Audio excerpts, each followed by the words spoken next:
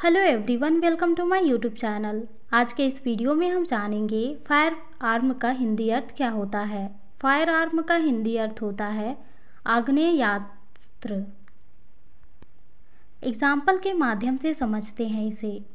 Example carrying a firearm without a license is illegal अर्थात, बिना licence के आग्नेयास्त्र ले जाना गैरकानूनी है। इसी के साथ आज के वीडियो में बस इतना ही। ऐसे ही डेली वर्ड्स मीनिंग जानने के लिए चैनल को सब्सक्राइब ज़रूर करें। Thank you so much for watching my videos